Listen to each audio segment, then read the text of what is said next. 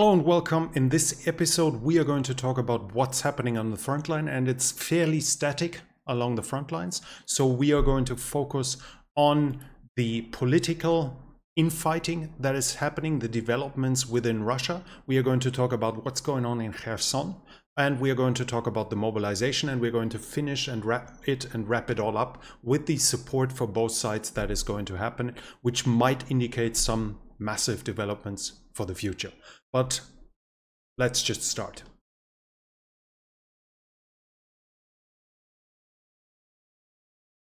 There's been a massive air attack on uh, on the Ukrainian civilian infrastructure again. 55 KH-101 and KH-555 or 555 were used by the Russian side. They are mostly launched from strategic bombers. And of those 55, Ukraine is saying they shot down 45. The attacks were against again, again against the civilian infrastructure and were meant as a revenge for the Ukrainian drone attack on the harbor of Sevastopol. Those attacks, though, have to be pre-planned, so we can expect the Russian government to have a pre-planned list of revenge attacks in case they need to do them. And that's not meant that those attacks would not happen otherwise, but we can expect the Russian government, the Russian military to have pre planned all those attacks so they can immediately strike back and not lose the support of the, their own hinterland, of the military bloggers, which would otherwise accuse the Russian government of weakness. The Russian attacks are clearly aimed at destroying the civilian infrastructure, mostly water, internet, and uh, electricity. And this has been successful in Kiev, at least for some time. 80% didn't have fresh water. Uh, there is no military reason in doing that, so it can be clearly be called um, terrorist attacks. Uh, one good news in the context was at least that the just recently delivered German IRIS-T system has been used and the Ukrainian side said it destroyed 100% of the targets it fired upon. When we come to the Eastern Front, we have reports of uh, the Ukrainian sides is saying they defeated a Russian attack on Mykolaiivka, which would indicate that it's now in Ukrainian hand. Otherwise, they couldn't defeat it, even though I don't have a full proof of that.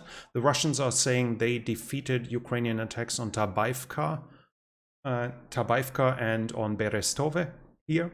Ukrainians are saying they have fire control over the R66, that's the road between Svatove and Kremina. It's probably here to Karmasynivka, which was recently conquered this last days as well, uh, as the high ground would probably allow them to look down. Fire control in this context has to be seen that uh, it means they can shoot at it. So they see movement and they can directly attack it and prevent that movement. It's not, it doesn't mean that the Ukrainian boots are actually on the road yet. So in dark weather or something in bad weather or with the uh, with high speed there might be still some some usage of that road, but it's now under direct threat by the Ukrainian side. It's also possible that this was close to uh, Chervono-Popivka, but here the Russians say they defeated a Ukrainian attack, which on the other hand would mean they are fairly close to the town as of now. Uh, we have reports that are somewhat contradicting when it comes to a bridge to, over the Krasna River in Kras, uh, Krasnorich, Krasnorichenske. Um, the both sides are actually accusing each other of it. Um, the Russian side, Russian military bloggers are saying it was Ukrainian artillery, and this at least would be would look like it to me. Um, we can see the crater here, and we see some damage on the the railings. So I would uh, think it actually looks a little bit like this. Pro-Ukrainian side is saying that it was the the um, that it was the the Russians themselves blowing it up. But in this regard, um, it's kind of has some kind of importance, even though the contradictions are kind of weird. You see a few other videos, a few other images of it here, because as it is here, it's behind the front line. So if the Russians were actually to blow it up already, then that would indicate that they're more or less in the process of evacuating that area, or that they already have.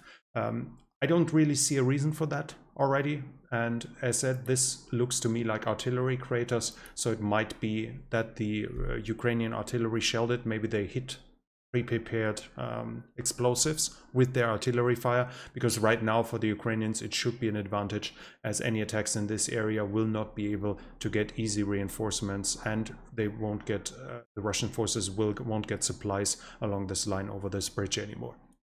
Regardless of this, we have further reports about Bilohorivka. Both sides basically say the other attack here. The Ukrainians say they defeated an attack on it, and the Russians are saying the Ukrainians are attacking eastwards in probing attacks and recon attacks out of Bilohorivka.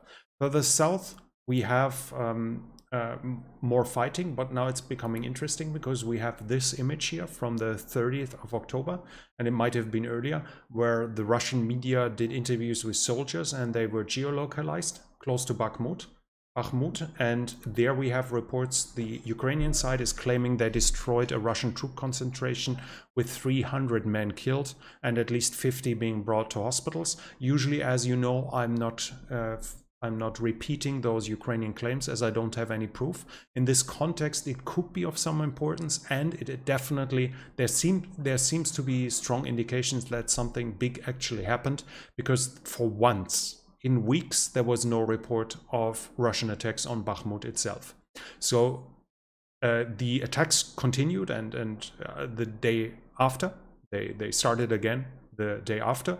But in context with that supposed Ukrainian strike that killed 300 Russian soldiers, the attack stopped for one day. So there might be indication that there might actually be some truth to that. Whether it was obviously, whether it was 300 or less, or there is no proof. So we shouldn't take those numbers too much for granted, but there seems to have been an attack. And I found this here not in direct connection, but it could obviously be that those interviews might have shown some information that led to the attack, but that's more speculation from my side.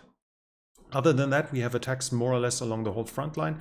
This time I haven't heard of Spirne again, but Bakhmutske, Soledar down, Ivangrad, Optyne, down to the line of Avdiivka. The furthest and they they are going more or less along that line but this time it's a little different than usual because we actually have a fair amount of successful sort of cl su claimed successes by the Russian side. Pavlivka supposedly is uh, conquered to half of it.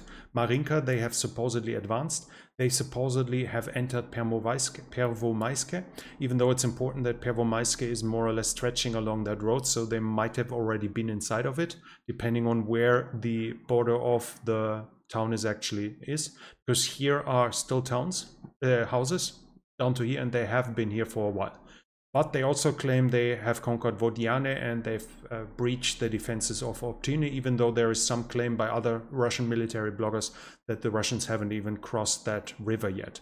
If they have actually succeeded in Vodiane and in Optyne, and there is at least image proof of them being close to Vodiane, uh, if they've actually succeeded here, then they'll obviously try to continue north to th and threaten Avdiivka with encirclement. We see some geographic features here and according to what we know from that front line, there are fallback lines, so we should not expect a vast breakthrough by the Russians, but we can expect that if the Russians actually succeed in advancing further north, that the time for the Ukrainians in Avdiivka is coming to an end. The Ukrainians will have no further choice but to withdraw fairly soon if the advances are continuing, unless they want to get encircled here. Um, that was it from this side. So we have some advances, but no big ones, and most of them are unproven. So it might just be Russian propaganda, especially in regard to what I said in the last situation report, that the uh, that Prigozhin Wagner are claiming advances that in some case at least don't seem to be full reality to make themselves appear better. On the southern front we have the usual artillery, missile, cruise missile, air attack, etc. Uh, Shahid, S-300 being used, Uragan, Smerch, uh, shot, shot along, shooting along the whole front line, but no big changes on the ground. Uh, we have, though, claims by the Russians that the Ukrainians again tried to cross the reservoir and were defeated. Uh, this time they said the, with artillery fire they forced them back. Uh, some Russian military bloggers talk about high losses on the Ukrainian side, but I, there is no image proof to confirm that. In Kherson, we have the usual Ukrainian attacks, logistics, lines of communication, command centers, troop concentrations, ferries, pontoon bridges, barge bridges, etc. along the whole front line, ammunition storages, etc. All of this is, is the same as it's happening for months, but we have more information about the rest. The Russian occupation authority is now saying they are going to defend Kherson and the fortifications are continuing. Um, this is important in this regard as there were some speculations of the of the Russians withdrawing and at least they are claiming now that they are going to defend it. We have reports about um, strong fortification works being set up in uh, Chornobaivka here, which would either indicate that they intend to shorten the front line or that they prepare for a Ukrainian breakthrough. Shortening the front line probably doesn't make too much sense because they would allow themselves to be pushed against the river here. But those are the reports. And we have also the Ukrainian uh, resistance center claiming that civilians are being forced to join in in the fortification work. Russia, the Ukrainian side is now saying Russians are withdrawing artillery over the bridge. There's some speculation that it might be redeployed somewhere else, but I actually think it's a smart move. It's if it's done in the proper context. You have to see that Uragan and Smerch have a range of 35 to 120 kilometers, depending on the missiles. Uragan usually is using 35 kilometer range missiles, but often longer ones as well. And one load for one launcher. So one salvo takes a whole reload truck's cargo. So every time a Uragan or a Smerch on this side is firing, they need one additional truck to be ferried over the river. So if you move the artillery systems to the other side and just leave them more or less along this line, then they can fully be employed still along the front line. You see it's barely under 35 kilometers, but it is and Smerch can even keep shelling Mykolaiv and further back, while their supply doesn't have to cross the river anymore. So this, in case this is what is happening, and that's my speculation looking at the situation here, it's actually a fairly smart move because it brings several advantages. Less supply has to be brought over the river because the, the artillery is no longer there. Secondly, the artillery can likely shoot far more often because the supply should, situation should be massively improved on this side of the river than on the other side. Thirdly, it can mostly still act along the front line here. Even in these areas, it might still fire at most of these areas. And in case of a Ukrainian breakthrough, in case of a collapse on the front line, those units don't have to be withdrawn, they don't have to destroy their equipment, etc. So in overall, moving them along on the other side of the river might shorten, might limit their tactical use, their abilities of what they can actually shell, but it might be justified according to the supply situation as the, the amount of, of um, fire missions they can do now should be higher than before, which might make up for the lack of range, for the loss of range that is, is occurring with this. So it might be an absolute smart move of this and I hope the hammering in the background isn't too annoying. The sound filter should take out most of it, but unfortunately I have workers here. So um, this is this might actually be the case in this case, but that's my interpretation and my speculation reading the news in this way. The Ukrainian Southern Command is saying the deportations are continuing. The Russians are um, moving people from Kherson, but also from Berislav and Novokakhovka here. They are removing them. And the Ukrainian general staff is saying that Russian soldiers are switching to civilian clothing and are occupying their houses.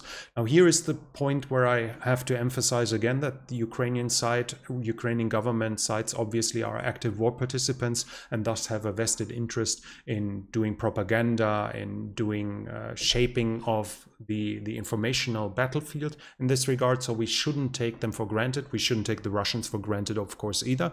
But in this regard, we should be somewhat careful to this regard and, and try to check as much as we can. Uh, why they would change into civilian clothing, I can't really say fully. It would be a war crime if they simulate to be civilians. And it wouldn't be the, by far not the first war crime done by the Russians. But what the point is in civilian clothing could be discussed. Maybe they want to try to fight Ukrainian soldiers while they wear civilian clothing. So the Ukrainian soldiers st um, start firing at their own civilians as in fear of partisans or something like this. Maybe it's so in case the Ukrainians are shelling those towns as they identify them as troop concentrations, the Russians can present killed civilians. Whatever the reason for it is, um, I can't really say. And we have this information from the Ukrainian general staff, which might be wrong in this regard, which might tell the not tell the truth in this regard. Still, Um, the reports are the Russians are now increasing the evacuation zone of by 15 kilometers along the river because they now claim the uh, Ukrainian side is planning a massive missile attack on the Novokakhovka dam to make it flood the area. So they want to evacuate the civilians here. Obviously, the Ukrainian side is calling this deportations. And um, while there might be some military use for the Ukrainian side in blowing up that dam right now. I've made a video about it. You'll find it on the channel. The, the likelihood of them actually being actually doing this in, in, in comparison to the, the downsides of destroying their own dam makes it highly unlikely. And we haven't even talked about the fact that I don't really see what weapon system they should use to destroy a massive dam because HIMARS is not the appropriate missile system to, to destroy a dam. Um, this is um, the information here. We also have news from the Ukrainian Southern Command that the Russians are turning off water, electricity, and internet to force civilians to flee. Uh, they call they as an example they mention Novokakhovka, where they want to force uh, wanted to force every Ukrainian civilian to leave it until today. They also uh, told the local shopkeepers, most, mostly of grocery stores, from what I understand, that uh, they are supposed to close from today on to evacuate the town. We heard in the past and past sitreps I've talked that the Novokakhovka is being prepared by the Russian side for house-to-house um, -house fighting, for urban fighting, which kind of makes sense in case the Ukrainians somehow manage to cross the dam in case of a breakthrough. We have um, now news from the Ukrainian side that hundred, several hundred Rosgvardia Kadyrovtsi, so Chechens for Kadyrov, have um, uh, come to Kalanchak.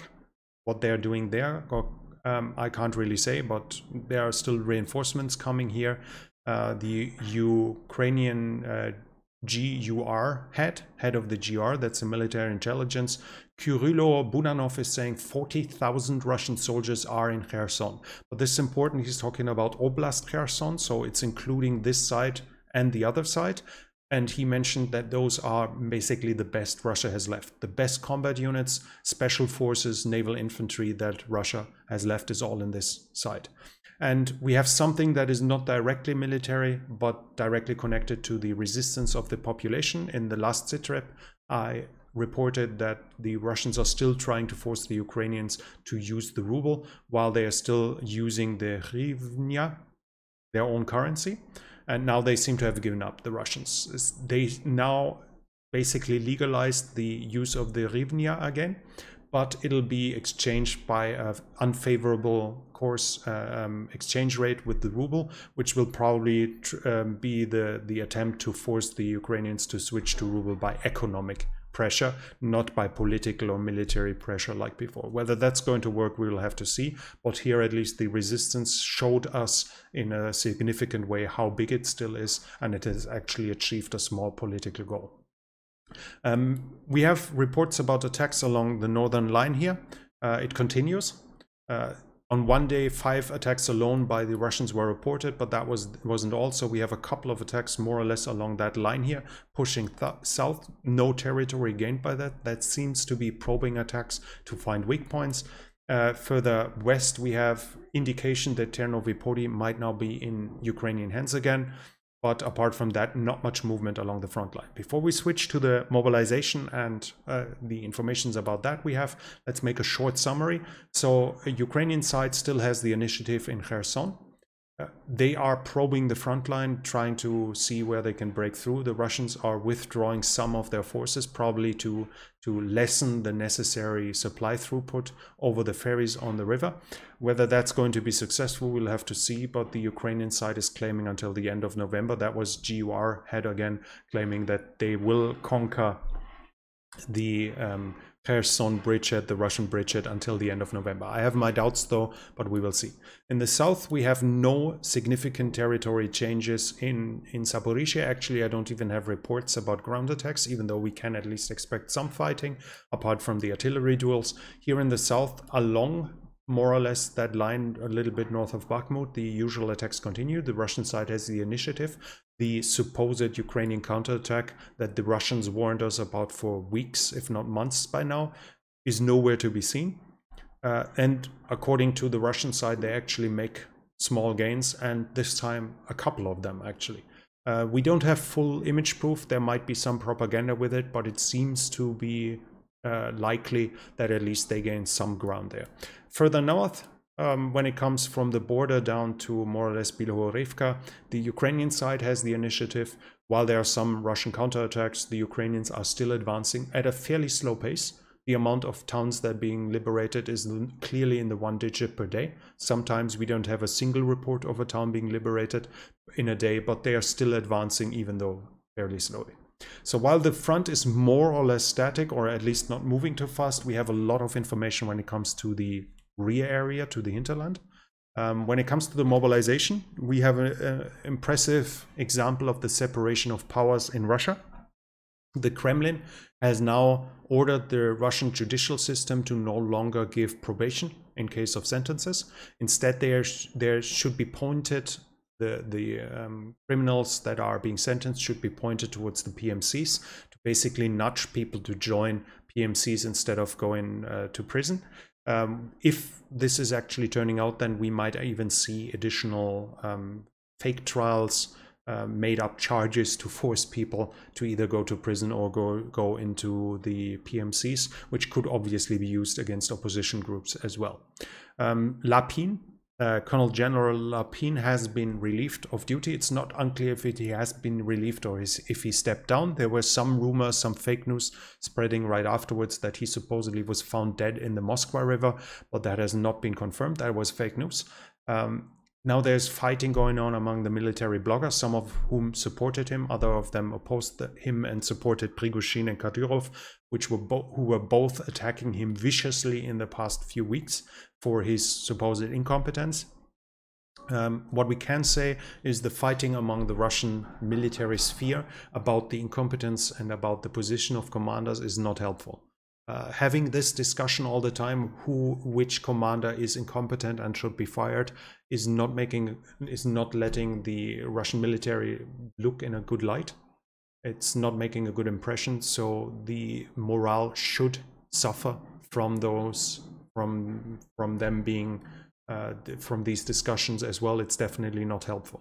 He's being replaced lapin is being repla replaced by lieutenant general andrei mordvichev.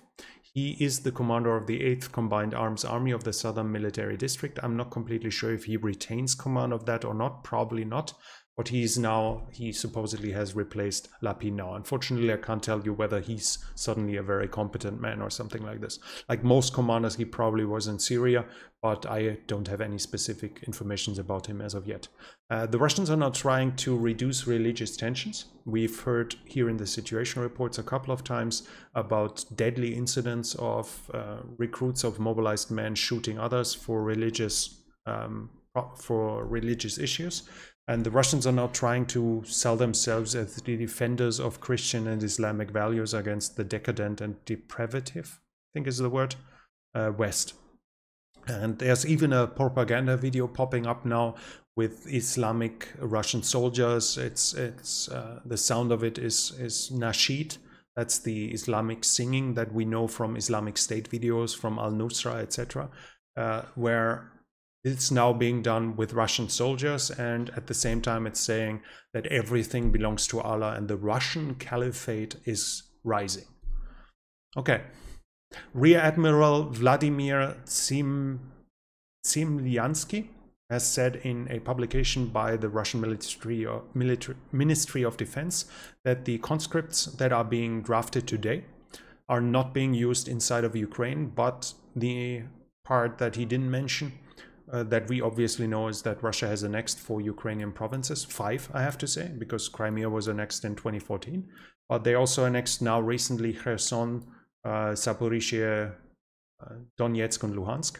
And according to Russian law and according to Russian understanding, this is not Ukraine.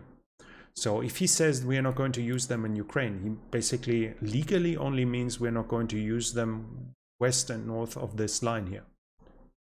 Um, but he this part, this small part here is Mykolaiv, and this is Kherson, uh, Kharkiv.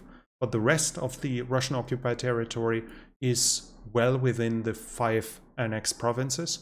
So according to Russian law and according to Russian understanding, and without contradicting Rear Admiral Vladimir Tsimlyansky, Russian conscripts could be used here and we can expect to see them come in this, uh, enter those units in a few weeks or maybe a few months, depending on the urgency of the situation. That Russia is not going to use 120,000 conscripts when they, in, in quotation marks, legally can, cannot be expected as Russia is aiming towards a long war and aiming towards defeating Ukraine. The Speaker of the Kremlin, Peskov, also said the um, partial mobilization legally is not over um, because it's not completely clear or formally is not over. It's not completely over because it's not completely clear whether Putin needs to issue another decree, um, but it's over. So they're not going to recruit. The interesting part here again is that gives that means it's legally still in effect, and that would give the Russian side the possibility to keep recruiting, um, to to keep uh, calling up reserves as the partial mobilization is still in effect. When we come to the political sphere, we hear one name we're going to keep hearing a lot in the future until he probably falls, might fall, until the point where he might fall out of a window, like a lot of others have done in the past few months, and that's Prigozhin. This time he has attacked the governor of St. Petersburg and told and said he is responsible for the creation of a criminal organization that is skimming government funds to enrich corrupt um, corrupt um, of workers for the government. He asked the um, he, he he said that's a fact, and he asked the general prosecutor to start an investigation in this. Um, that he dares to attack the governor of St. Petersburg, the most important, the second most important city of Russia, is saying a lot of where he sees his power to be now. Whether it, it is there or not, we will probably see in the coming weeks but his popularity is massively on the rise because he's one of the most prominent figures in this war now, and his troops are the only ones that are still advancing, at least according to him. Uh, now there has been local media asking him whether he plans to create a party or whether he wants to go into enter politics, and he said, "No, no, I'm not going to go into politics. I'm just doing my duty for the government."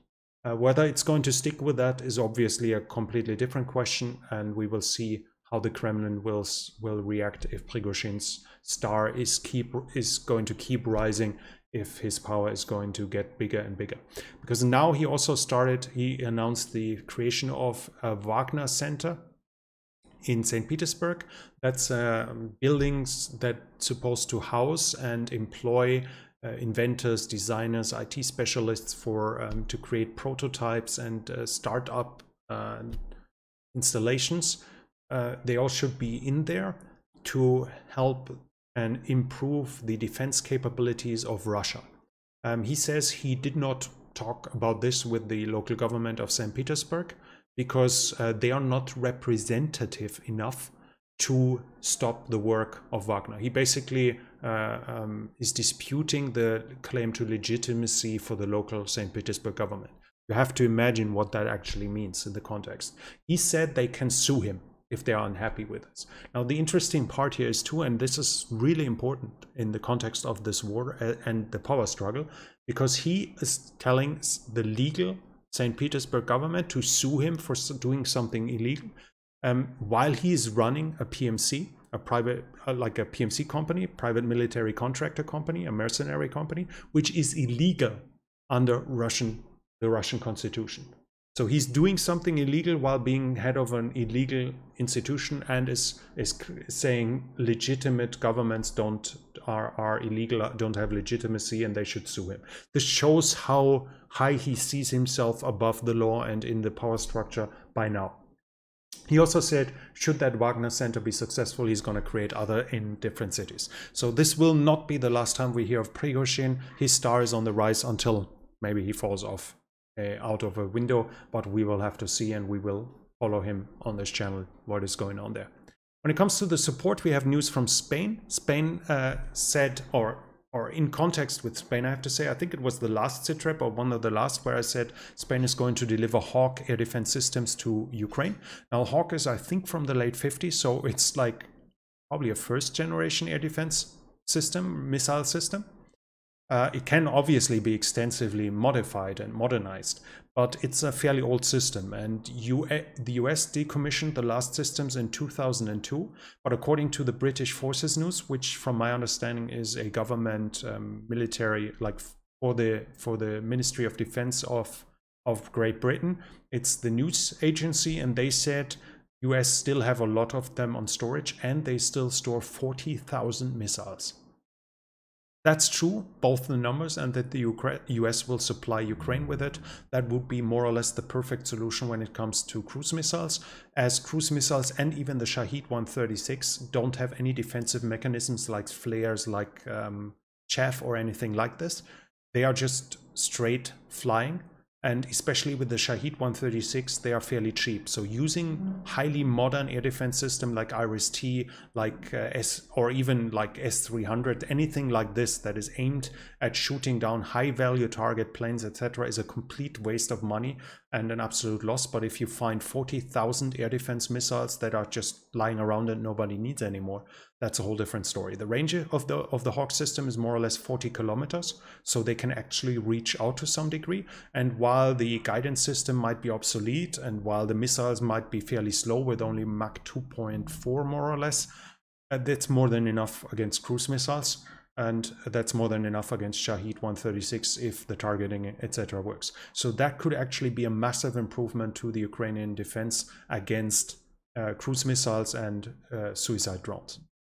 Italy, where there was some discussion whether it might side with Russia, according to the new right wing government, has now promised a massive new delivery of weapons for Ukraine. Uh, Italy is going to deliver six Panzerhaubitze 2000. That's the German um, self propelled howitzer that was talked about quite a lot in the past. They're going to deliver two M270 um, multiple launch rocket systems. They are they have double the double the capacity of a HIMARS. So that's more or less you want to put it in simple terms, that's more or less two HIMARS glued together in one. It's on tracks and it's it's a better armored, etc., but it's more or less firing the same missiles, just twice as many. It can carry twice as many. They're also going to deliver up to 30 M109L Paladin. That's a locally uh, modernized version where they changed the barrel of the gun with a much longer one that is comparable to the Feldhaubitze 70, the FH70 that Italy already donated to Ukraine that can fire modern 155 NATO ammunition, including base bleed, and I think they can even fire Excalibur, even though I'm not completely sure there. But that means the M109L has an extended range, and with the appropriate ammunition, it's supposed to be able to reach out to 40 kilometers. So while the system might not have the most modern fire control system, its range at least is outranging the majority of the Russian artillery and Italy is going to deliver up to 30 of those. They're also going to add several dozen of the M113. Um, that's the old APC from the Vietnam era that is still in use all over the world and where Ukraine has already received dozens, if not hundreds of them in the past. Not the greatest tool, but still much better than an unarmored car in any uh, military operation.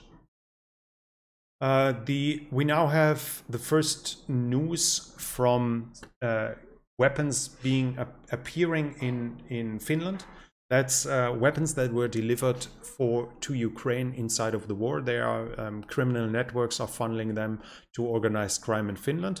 Uh, among that, supposedly, are motorcycle clubs. That's not much of a surprise um, when you deliver hundreds of thousands of weapons, when you have local points where volunteers can pick up their own assault rifle, as it was done at the beginning of the war, when you have losses of people and nobody's going to keep book over where exactly every single rifle has been, that some of them disappear, is unfortunately just uh, shouldn't be any surprise to anyone, and that organized crime will bank on that and use that is is not much of a surprise. But this is now the first confirmed uh, appearance in Finland. In this case, the Finnish police has, has said. Um, we have interesting news now from Turkey.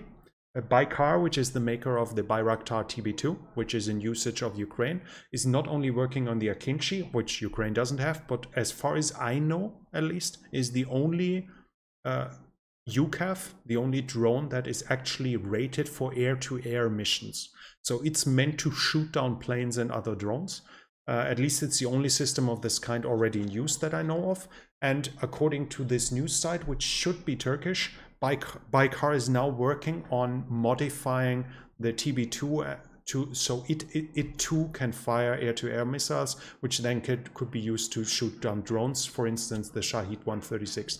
This would obviously be a massive improvement as the Ukraine has a should have a sizable amount of TB2s which can only be used very lim limited by now as Russia has now adjusted to the threat posed by them and has changed its air defense system and intensified it. So the Ukrainians themselves said they had trouble using them because they were threatened too much by Russian air defense system. Now, if you if you give them air-to-air -air missiles and allow them to hunt down Shahed 136 drones, then you've given them a new purpose which you can use until you've weakened the Russian air defenses again.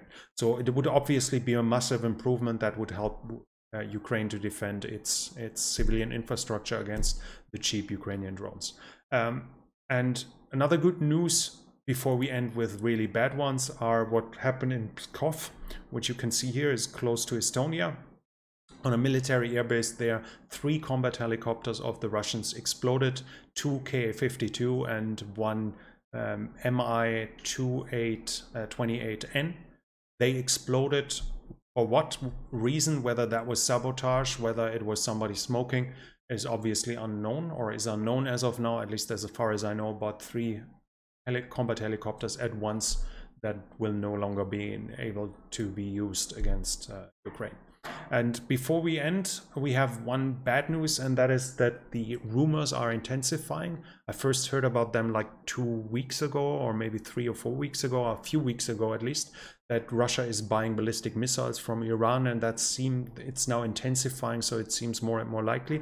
There are, there are talks about the systems having a range of 300 to 700 kilometers, and Ukraine has the problem that most of its air defense, or almost all of its air defense is, systems, is meant against planes, not against ballistic missiles coming down. So uh, 700 kilometers would obviously be a massive range. If we were to expect them to be used from here, we could probably almost reach, no, they could actually reach almost uh, Lviv from, from Kherson Oblast on the other side of the river. So most of Ukraine would be in range of them if they use them from Belarus, which seems likely. Um, then all of Ukraine could be bombarded with this, uh, which would obviously be a serious problems for the Ukrainians as they'd have no means of defending against this. And Iran's missile arsenal is quite extensive, though there should be a fair number of those that are that can be made available for the Russians. So let me think in the comments what you think. Is this going to change anything along the whole front line? Is this going to change? Is this going to be a game changer in the war? If Russia is starting to get ballistic missiles, that's going to be an interesting discussion, and I'm really interested in what you think about this. And we'll end this uh, this sitrep with this message and I want to thank uh, thank those of you who supported the channel very much. This channel wouldn't be possible without the without the support of viewers like you. So thank you very much for to everyone who is already supporting. And if you also want to support the channel, you can do so by the means stated in the description. Thank you very much. And you can also support the channel with non-financial means, obviously hitting the like button, Commenting is good for the algorithm. If you haven't subscribed yet, I want to invite you to subscribe and don't forget the bell icon so you don't miss future videos in case the algorithm tries to hide them from you. And if you want to help the channel grow, please recommend this channel to friends and acquaintances. That's it from me for now. Thank you for watching and I'll be back.